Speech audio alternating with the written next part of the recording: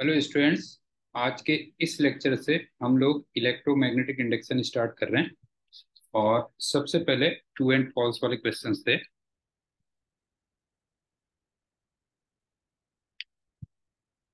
First question था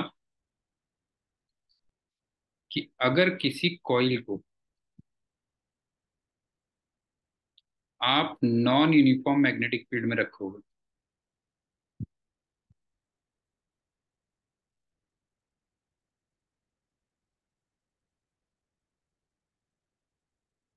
उसमें एक इंड्यूस्ड ईएमएफ डेवलप होगा।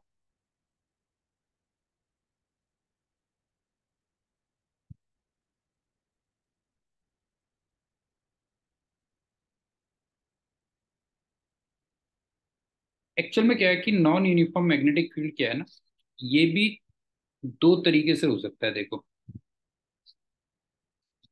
एक तो अगर मैग्नेटिक फ़ील्ड पोजीशन का फ़ंक्शन हो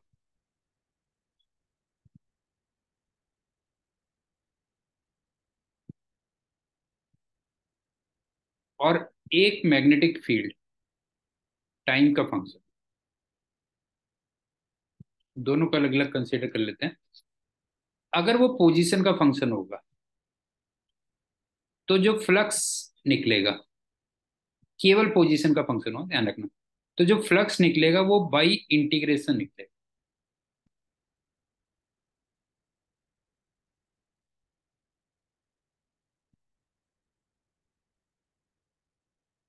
लेकिन जो भी फ्लक्स निकलेगा वो रहेगा कांस्टेंट, क्यों?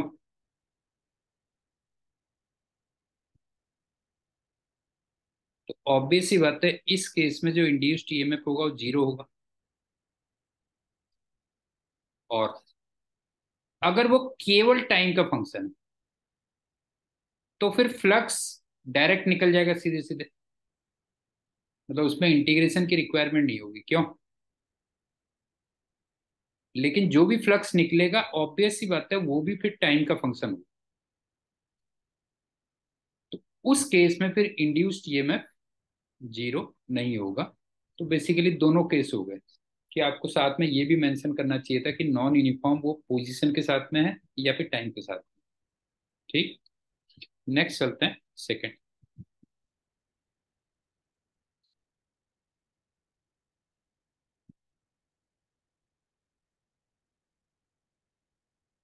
ये ए था, ये बी था। और इसको इधर को ले जा रहे हैं। और इसमें डॉट मैग्नेटिक फ़ील्ड है। तो आपसे कहता है कि जो ए है, वो पॉजिटिवली चार्ज है।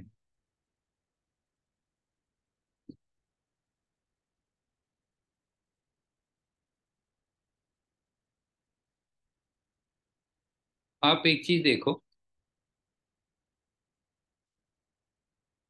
अगर मान लो मैं इधर ले जा रहा हूँ तो जस्ट मान लेता हूँ इसे पॉजिटिव चार्ज पे अगर आप देखोगे पॉजिटिव चार्ज भी इधर को जा रहा है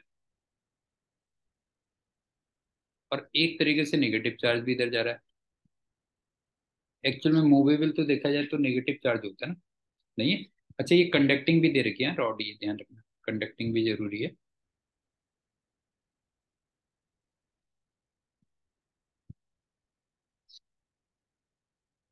अब आप देखो कि अगर डॉट मैग्नेटिक फ़ील्ड हो और पॉजिटिव चार्ज इधर जा रहा हो तो आप ये देखो पॉजिटिव चार्ज पे नीचे को फोर्स लगे और नेगेटिव चार्ज पे ऊपर को फोर्स लगे। राइट हैंड रूल लगा के देख लो आप, नहीं है? राइट हैंड रूल लगा के देखो तो पॉजिटिव चार्ज पे नीचे को और नेगेटिव चार्ज पे ऊपर को फोर्स लगेगा। तो एक तरीके से यहाँ पॉजिटिव चार्ज कलेक्ट हो जाएगा और यहाँ नेगेटिव चार्ज कलेक्ट हो जाएगा। तो सही है ए पॉजिटिवली चार्ज है, इसको मतलब टू है क्या उसके बाद फिल इन द ब्लैंक्स वाले क्वेश्चंस थे।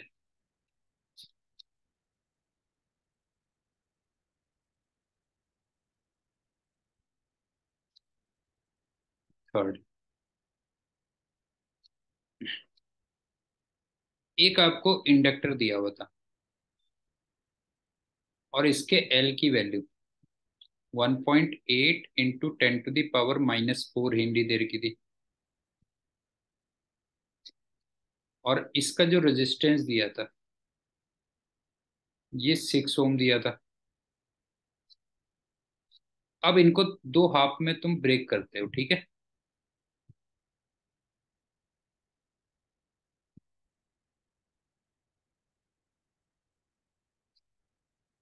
और फिर इसको 15 वोल्ट की बैटरी से कनेक्ट कर देते हो। एक, उस सर्किट का टाइम कांस्टेंट पूछा था। और एक स्टेडी स्टेट करंट जिसको हम आई नॉट कहते हैं, वो पूछा था। क्वेश्चन एक बार दोबारा रिपीट कर रहा हूँ।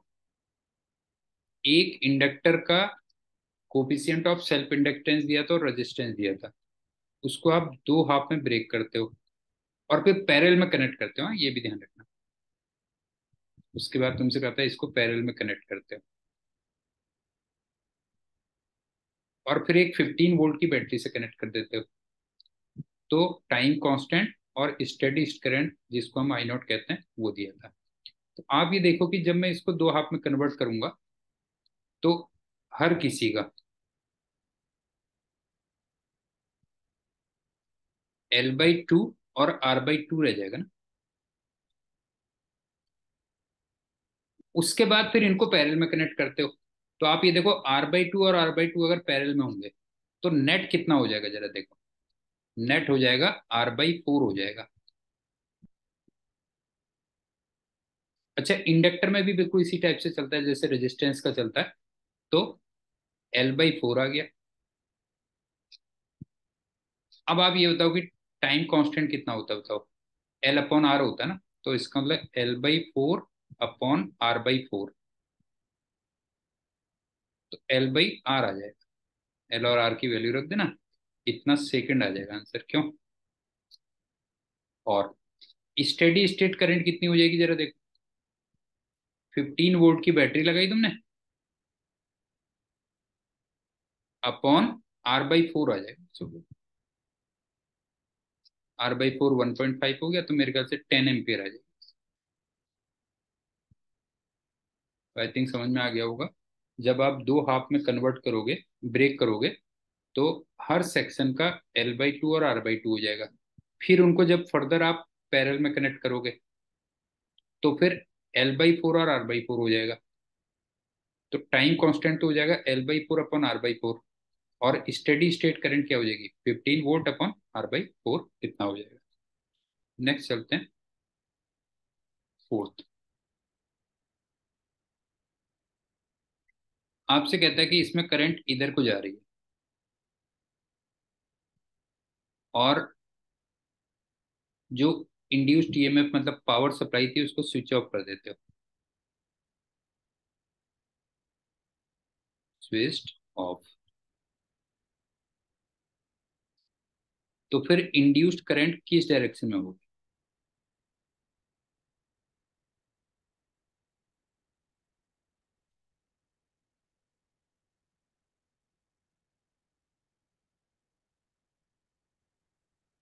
लेंस लो आप जानते होगे कि लेफ़्ट टू राइट करंट कम हो रही है स्विच ऑफ़ करने पे कम हो रही है। तो जो इंड्यूस्ड ईएमएफ जनरेट होगा, वो उसी डायरेक्शन में करंट देगा। इसका मतलब इंड्यूस्ड करंट किधर को हो जाएगी? तो लेफ़्ट टू राइट हो जाएगी। आई थिंक समझ में आ गया होगा। Left to right current switch off करने पे पावर स्विच ऑफ़ करने पे कम होगी। तो लेंस लॉ क्या कहता है? कि जो इंड्यूस्ड करंट होगी, वो चेंज को अपोज करेगी, इसका मतलब उसी डायरेक्शन में ठीक? फिफ्थ इस टाइप के क्वेश्चन भी आपने काफ़ी किए होंगे।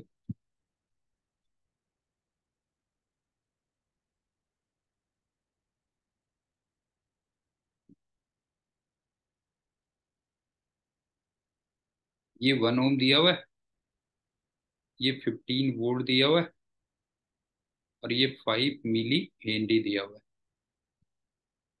ये ए और ये बी और अभी जो करंट दे रखी है, वो फाइव एम्पियर दे रखी है।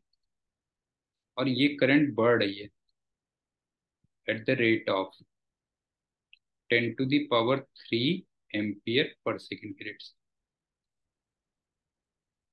तो तुम्हें V A minus V B ये फाइंड करना है, कितना हो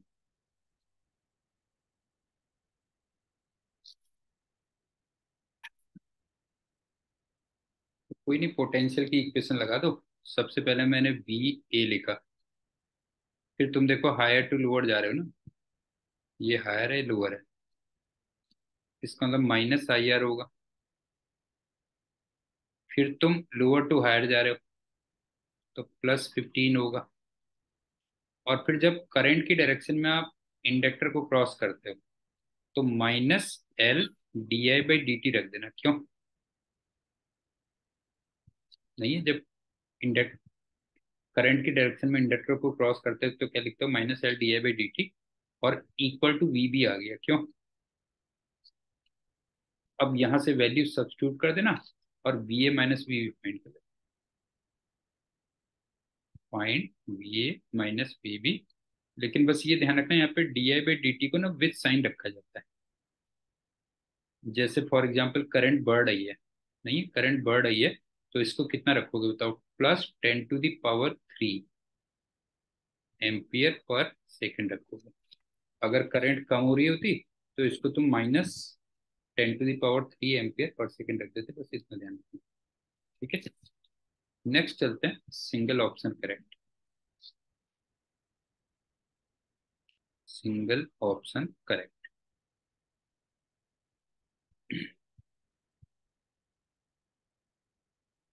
ये यूनिफॉर्म मैग्नेटिक फ़ील्ड दिया था।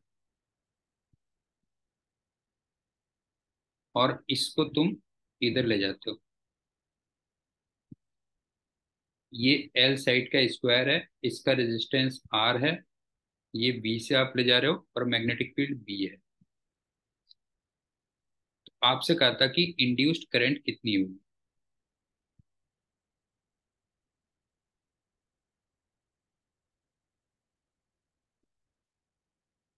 मेरे ख्याल से ये भी आपने क्लास में कई बार किया होगा।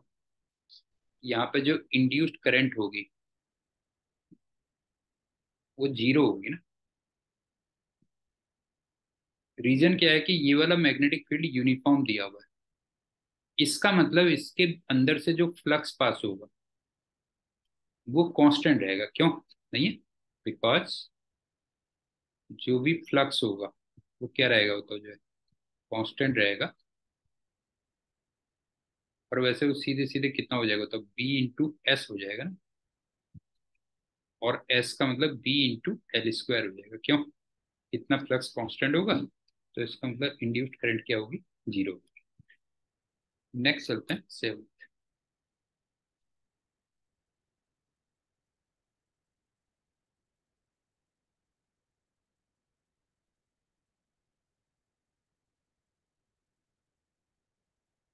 इतने में मैग्नेटिक फ़ील्ड था बी और एक ये कंडक्टिंग लूप है ऐसे और इसकी रेडियस आर दे रखी है। रेडियस आ रहा है ध्यान रखना। इसको वी से ले जा रहे हो तो आपको इसके अक्रॉस पोटेंशियल डिफरेंस निकालना था। कौन सा हायर पोटेंशियल पे होगा, कौन सा लोअर पोटेंशियल पे होगा। एक बात बताओ कि ये तुमने पढ़ा होगा। पहली बात तो जो मैं कर्ड वायर होता है, उसको क्या कर देता हूँ? स्ट्रेट कर देता हूँ। तो एक तरीके से ये हो गया। क्यों? इसको वी से इधर ले जा रहा हूँ?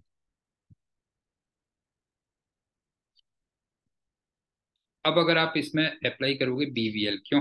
तो पोटेंशियल डिफरेंस क्या हो जाएगा तो पोटेंशियल डिफरेंस हो जाएगा बी वी एल और एल का मतलब डायमीटर हो गया ना?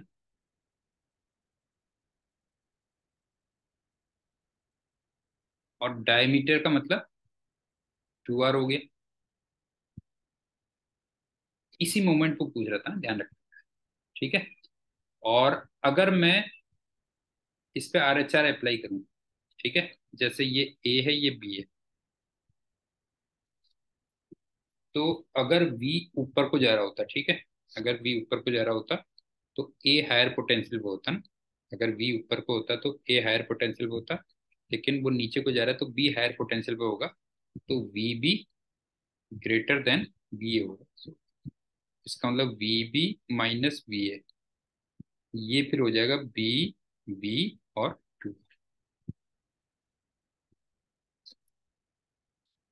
आई थिंक समझ में आ गया होगा। ठीक। नेक्स्ट एट्थ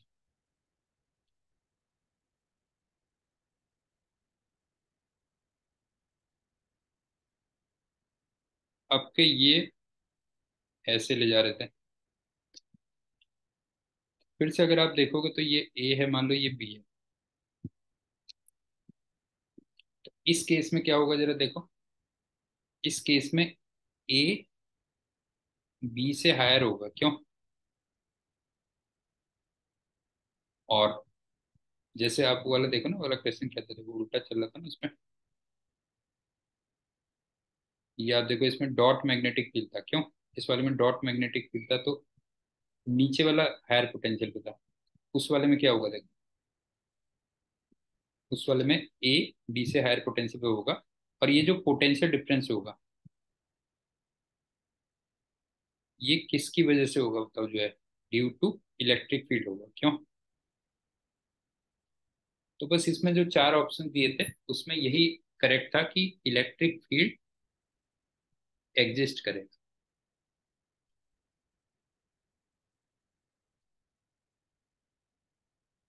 जिनमें यही सही ऑप्शन था इसमें कि इसमें इलेक्ट्रिक फ़ील्ड एग्जिस्ट करेगा ये था। ठीक? और बाकी जो गलत ऑप्शन थे वो बता देता हूँ। एक तो ये बोला था कि पूरी रॉड सेम पोटेंशियल पे होगी। गलत था। उसके बाद कह रहा था कि सी पॉइंट पे मतलब जो सेंटर है बिल्कुल वो हाईएस्ट पोटेंशियल पे होगा वो भी गलत है। और एक ऑप्शन दिया था, था कि सी लोएस्ट पोटेंशियल पे होगा वो भी गलत है। ठीक?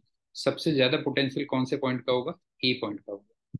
और इसमें एक इलेक्ट्रिक फ़ील्ड जनरेट होगा। ये ठीक है? नेक्स्ट था नाइन्थ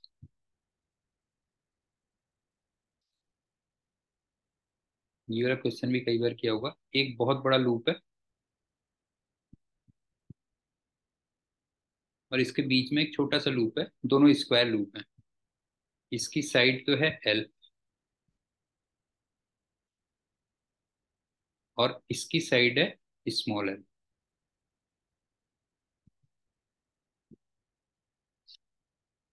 तो आपसे कहता कि इन दोनों के बीच में जो म्यूचुअल इंडक्टेंस है, वो किसके प्रोपोर्शनल होगा?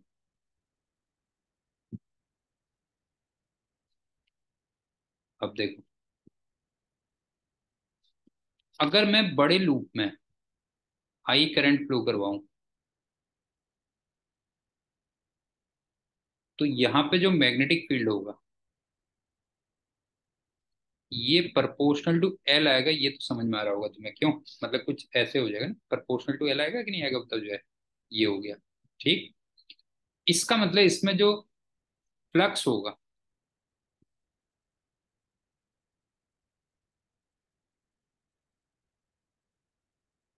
sorry proportional to one upon L होगा ना? हाँ। प्रपोर्शनल टू क्या होगा वन अपॉन एल होगा। अच्छा फ्लक्स क्या होता है? बी इंटू एस होता है। और यहाँ पे जो एस होगा, ठीक है? एस क्या होगा, जरा बताओ जो है। एस एल स्क्वायर होगा। तो इसका मतलब फ्लक्स किसके प्रोपोर्शनल होगा, बताओ जो है। फ्लक्स होगा proportional to L square upon L आ गया। और फ्लक्स अगर देखोगे तो करंट के भी प्रोपोर्शनल होगा ना। नहीं होता फ्लक्स करंट के प्रोपोर्शनल होगा। इसका मतलब जो फ्लक्स होगा वो कुछ इस टाइप से होगा। Some constant current L square upon L ठीक? और लास्ट में तुम जानते हो कि जो म्यूचुअल इंडक्टेंस होता है, वो फ्लक्स पर यूनिट करंट होता है। इसका मतलब ये किसके प्रोपोर्शनल आ गया होता है? एल स्क्वायर अपॉन एल के प्रोपोर्शनल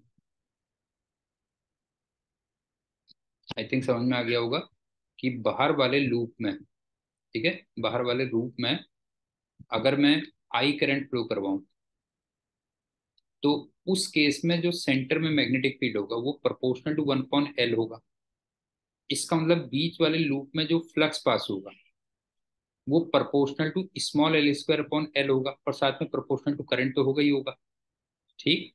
तो फ्लक्स कुछ इस टाइप से आएगा कि कुछ constant into I into L square upon L last में जो म्यूचुअल इंडक्टेंस होता है वो क्या होता है? फ्लक्स पर यूनिट करंट होता है basically flux per unit current तो वो small L square upon capital है उसके ये।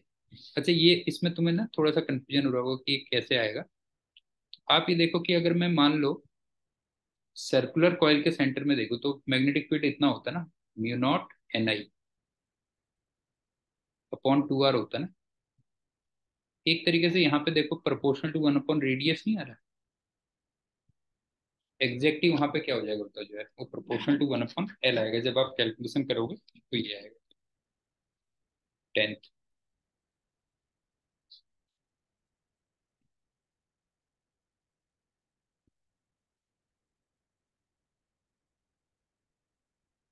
ये तुम्हारा ना एक एक्स वाई प्लेन है, पूरा इनफाइनाइट तक जा रहा है, ध्यान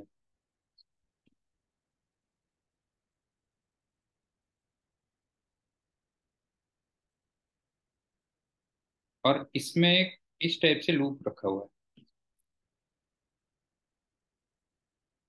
और इसमें करंट फ्लो कर रही है। तो तुमसे कहता है कि पूरे एक्स वाई प्लेन से, ठीक है? पूरे एक्स वाई प्लेन से नेट फ्लक्स कितना हो ठीक है ना? पूरे एक्स वाई प्लेन से नेट फ्लक्स कितना होगा? इसका आंसर अगर आप देखोगे तो ज़ीरो होगा। रीजन क्या है देखो? अगर मैं इसके चारों ओर मैग्नेटिक लाइंस देखूँगा तो देखो कैसे निकल रही है ऐसे जा रही है ऊपर को। इसका मतलब ये ऐसे गई।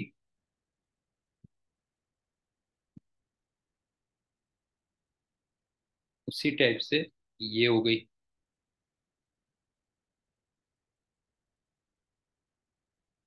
ये मैग्नेटिक लाइंस हो गई हैं। अब आप देखो कि एक्स वाई प्लेन को, नहीं बताओ एक्स वाई प्लेन को जितनी लाइंस ऊपर से नीचे को कट कर रही है, फिर वही वापस आ जा रही है। अगर आप देखोगे तो सारी की सारी लाइंस क्या हो रही है बेटा जो है? जैसे यहाँ पे अगर मान लो नीचे को कट कर रही है तो यहाँ पे वही वाली लाइन फिर ऊपर को भी आ जा रही है ना, अगर आप देखोगे तो जो है, नहीं है? ये कह लो आप, जैसे यहाँ से देखो, ये ऊपर गई तो फिर इधर एंटर भी कर गई। मतलब सारी लाइंस लौट फिर के फिर वहीं से पास हो जा रही है तो इसका अंदर नेट फ्लक्स कितना हो जाएगा उसका? ज़ीरो हो जाएगा। मेरे ख्याल से समझ में आ रहा होगा कि अल्टीमेटली सारी लाइंस घूम घाम के पूरा। फिर वो एक्स वाई प्लेन को ही वो कर रही तो पूरा नेट फ्लक्स क्या हो जाएगा? ज़ीरो आ जाएगा, क्या ठीक है? नेक्स्ट इलेवेंथ में चलते हैं।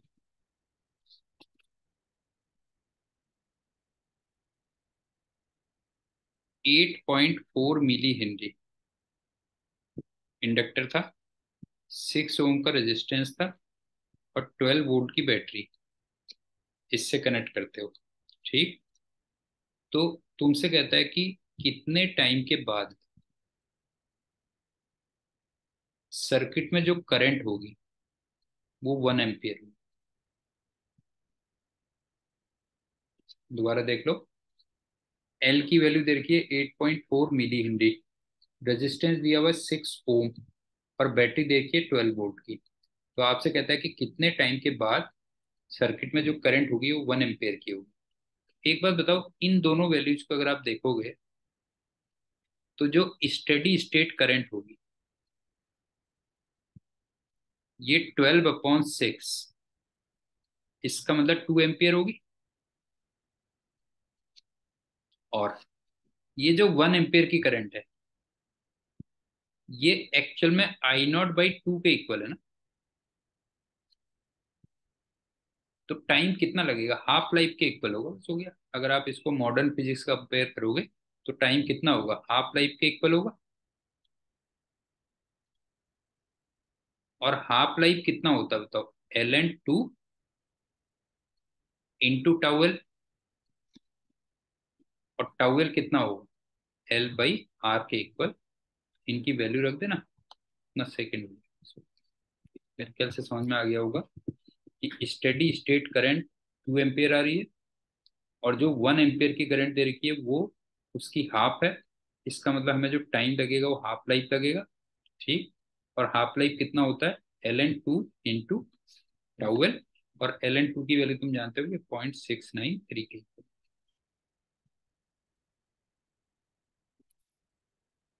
next.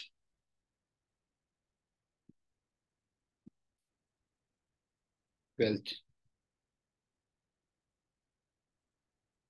दो लूप्स हैं। ऐसे और ऐसे कर दो, ठीक है? और इसमें एक में करंट बढ़ रही है, मान लो ये है, इसमें करंट इंक्रीज कर रही है।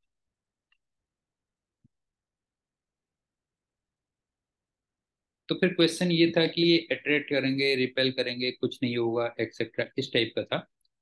तो ये भी मेरे ख्याल से तुमने क्लास में किया होगा कि अगर करंट बढ़ रही है तो फिर ये एक दूसरे को रिपेल करेंगे।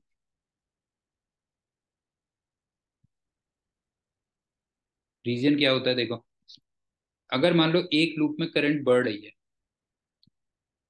तो लेंज लॉ से दूसरे वाले लूप में जो इंड्यूस्ड करंट होगी वो अपोजिट डायरेक्शन में आएगी।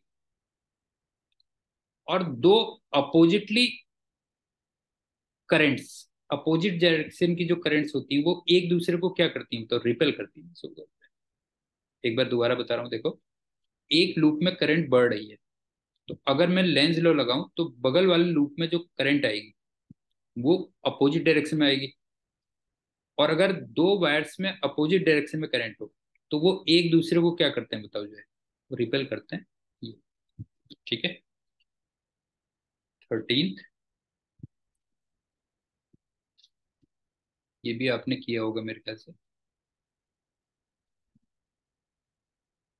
ये सिलिंड्रिकल रीजन में magnetic field function of time दे रखा है। ठीक है? सिलिंड्रिकल रीजन में magnetic field function of time दे रखा है और रेडियस इसकी आर कह दो तो तुमसे कहता है कि यहाँ से आर डिस्टेंस पे जो इलेक्ट्रिक फ़ील्ड होगा, वो प्रोपोर्शनल टू आर की किस पावर के साथ वेरी करेगा? इस टाइप के क्वेश्चन भी तुमने काफ़ी किए होंगे। एक्चुअल में ये इंड्यूस्ड इलेक्ट्रिक फ़ील्ड की बात कर रहा है नहीं है? इंड्यूस्ड इलेक्ट्रिक फ़ील्ड की बात कर रहा है। तो तुमने ये पढ़ा होगा, इसमें हम सीधे सीधे क्या करते हैं बताओ? E L equal to D five by D T phi का मतलब बी इंटू एस आ गया, क्यों? और यहाँ पे बी वेरिएबल है तो ध्यान रखना।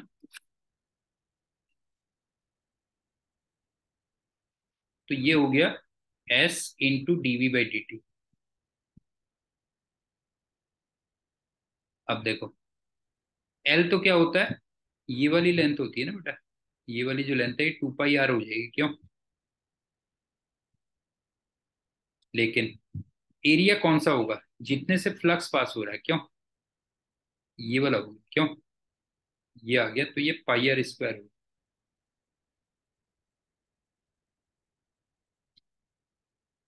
तो यहाँ से अगर आप ई e और आर का वेरिएशन देखोगे, क्यों? ई e और आर का वेरिएशन देखोगे तो ई प्रपोर्शनल टू क्या आएगा बताओ जो? E proportional to one upon R के इक्वल आएगा। ये भी मेरे ख्याल से क्लास में तुमने किया होगा। नेक्स्ट है फोर्टीन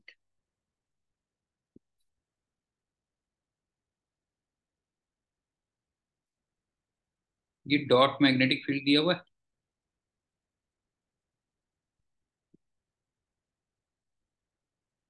ये ए बी सी डी है। इसको इधर ले जा रहे हो। तो ये अभी हमने किया हुआ है, इसका भी मैं सही ऑप्शन बता देता हूँ। तो ये बताओ ए डी और बी सी दोनों में इलेक्ट्रिक फ़ील्ड होगा ना? नहीं होता मुझे? ठीक है, दोनों में इलेक्ट्रिक फ़ील्ड होगा। तो इसका मतलब electric field non zero in both AD and BC अभी किया था ना कुछ देर पहले? नहीं है? इसमें इलेक्ट्रिक फ़ील्ड होगा ही होगा ऑब्वियस सी बात है। और इसमें भी इलेक्ट्रिक फ़ील्ड होगा। दोनों में इलेक्ट्रिक फ़ील्ड ठीक? लास्ट में फिफ्टीन आपको दो लूप्स तीन अलग अलग ओरिएंटेशन में दिए थे। जैसे एक ये हो गया, एक ऐसे दिया था। एक ये है एक ऐसे रखा था। और एक ये है और एक ये था। आपसे कहता है कि किस केस में दोनों के बीच में म्यूचुअल इंडक्टेंस मैक्सिमम होगा? ठीक है, किस केस में दोनों के बीच में म्यूचुअल इंडक्टेंस मैक्सिमम होगा? तो आपने मेरे ख्याल से पढ़ा होगा, इस वाले केस में ना, इसमें सबसे ज़्यादा लिंक होगा ना फ्लक्स कि मान लो मैं इस पे करंट आई फ्लो करवाता हूँ। तो पहले वाले केस में इस वाले से जो फ्लक्स लिंक होगा, सबसे ज़्यादा होगा ना, क्योंकि अभी हमने करा था एम इक्वल टू क्या था बताओ? फ्लक्स पर यूनिट करंट था ना। तो फ्लक्स जिस केस में सबसे ज़्यादा मैक्सिमम होगा, नहीं है, फ्लक्स अगर मैक्सिमम लिंक है तो ऑब्वियस सी बात है, म्यूचुअल इंडक्टेंस भी क्या होगा, मैक्सिमम आएगा। तो आपको लग ही रहा होगा, पहले केस में जब आप बड़े लूप में करंट पास करोगे तो छोटे लूप में सबसे ज़्यादा फ्लक्स लिंक होगा। तो उस केस में कोफिशियंट ऑफ़ म्यूचुअल इंडक्टेंस क्या होगा? मैक्सिमम ठीक?